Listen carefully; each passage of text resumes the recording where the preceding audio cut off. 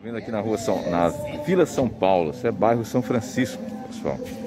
Ali próximo ao clube do, do Acesp, essa área, que os moradores estão enfrentando um grave problema aqui, que é de arrombamentos. Acabei de entrevistar um morador, nos falava que já são quatro casas arrombadas. Bandidos levam de tudo que encontram, né? As pessoas saem para trabalhar e quando voltam estão tendo essa surpresa. Todas elas durante o dia. A última aqui, agora há pouco, essa semana, foi arrombada por volta de uma da tarde. Então, os moradores estão apelando aí para a polícia para ver o que, que podem fazer a respeito desse problema de arrombamentos aqui na Vila São Paulo, bairro São Francisco.